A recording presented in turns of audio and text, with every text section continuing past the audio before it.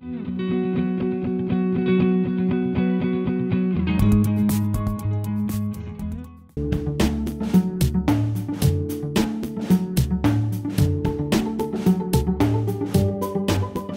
course of course is a roasted beet salad. I did a sherry vinaigrette maple with that. And then we did a goat cheese beignet.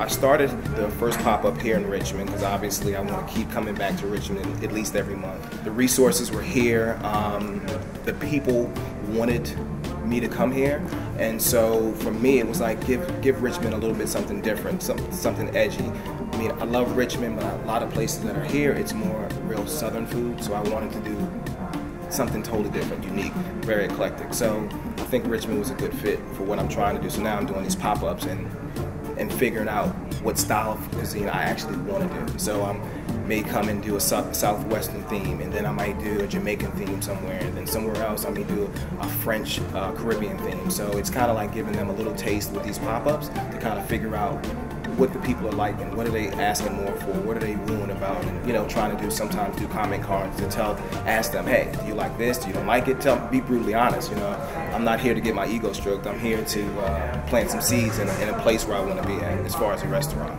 We're moving, we're moving and shaking. We're, I'm just taking it any, any place that somebody says they welcome Malcolm, Malcolm is coming. Have food, I will travel. So that's what we've been doing.